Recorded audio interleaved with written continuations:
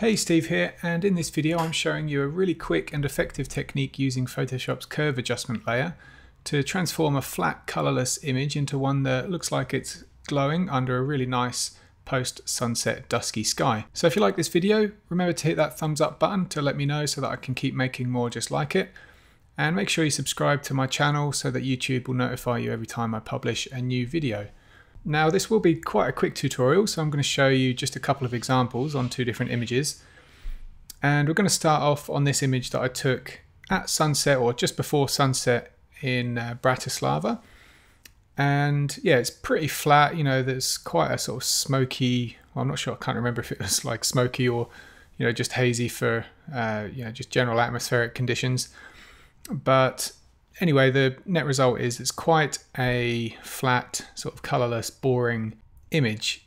And so I'm just going to add a curves adjustment layer to totally turn this image around and so that you can see how to do it if you come up against the same issue.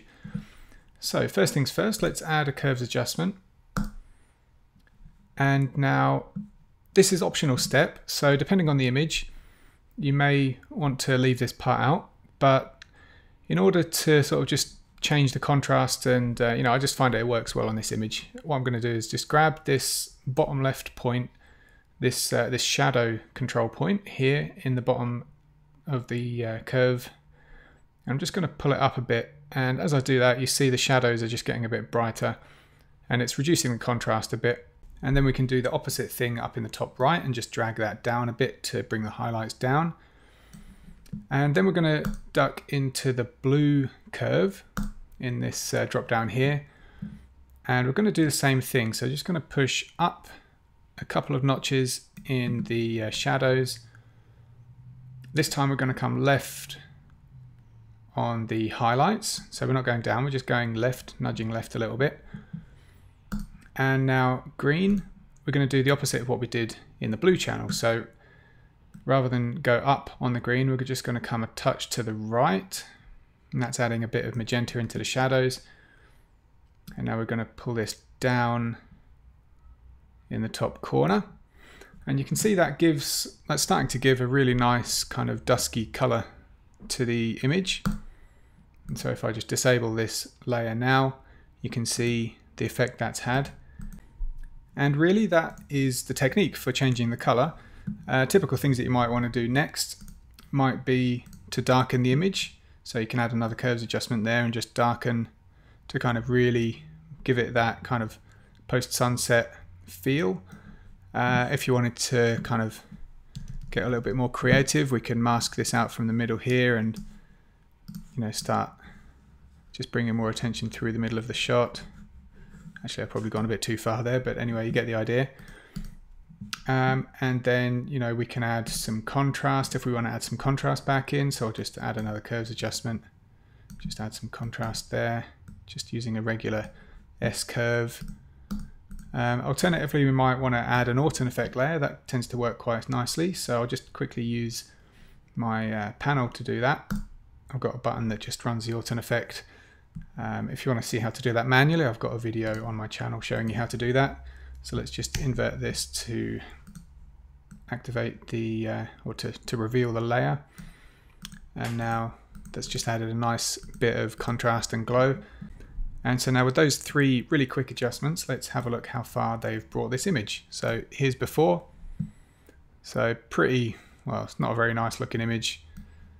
It's got a bit of potential with the subject and the composition maybe, but um, yeah, here is with the three adjustment layers and that gives it a really sort of, well, to me, that becomes a much more interesting shot. So that's the first example. Let me just show you on another different image, uh, slightly different here, basically still a bit of a colorless shot. So again, it's just before sunset. This is up in Hallstatt in Austria.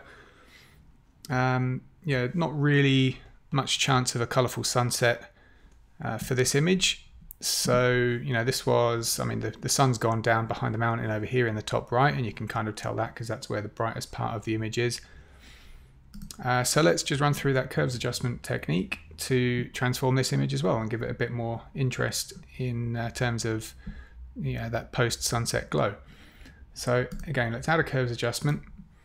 This time I won't make those RGB curve adjustments, I'll just go straight into the blue and green channels. So starting with blue, let's push that shadow uh, control point up and then the highlights to the left a little bit. And then green, we'll bring the green towards the right in the shadows and the highlights just down a little bit.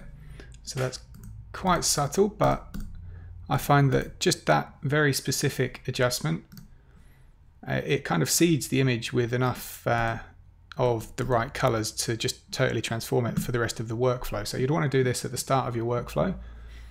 And then, uh, yeah, let's do what we did in the last example. Let's add a curves adjustment to darken the image now. So, you know, you can see the mountains and the sky really kind of having that nice glow about them now. Uh, we might want to, well, let's use a luminosity mask to mask this out of the shadows. So let's do the same thing again, but this time just quickly using the luminosity panel.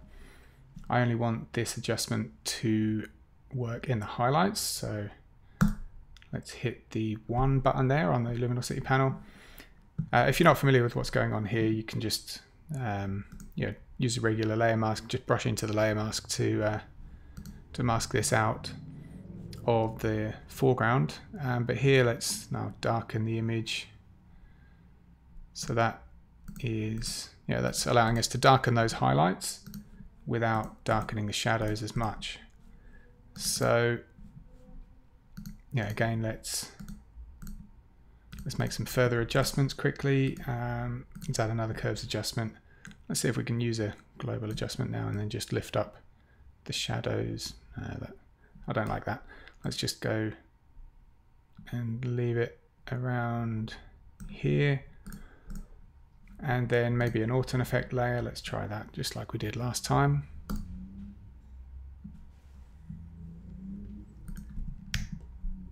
And that is way too strong. So let's bring the opacity down and well, let's invert the layer mask and use a white foreground to just brush this effect into the sky. So rather than brushing it out of everywhere else, we'll brush it into the sky.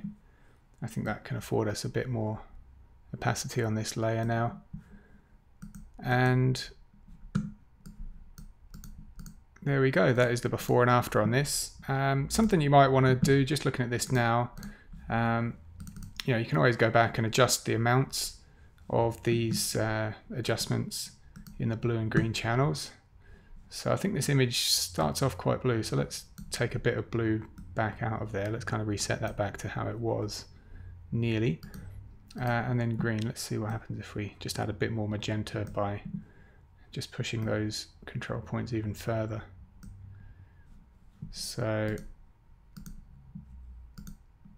yeah, it's starting to get a bit bit dodgy, so I'll just put the greens back up.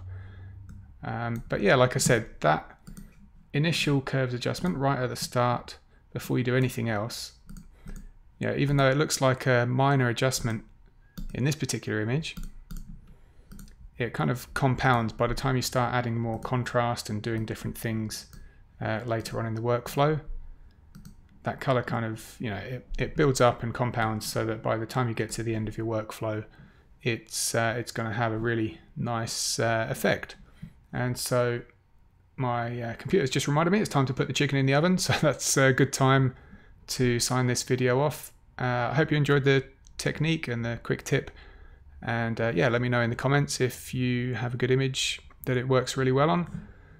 Thanks for watching. I'll speak to you soon. Cheers.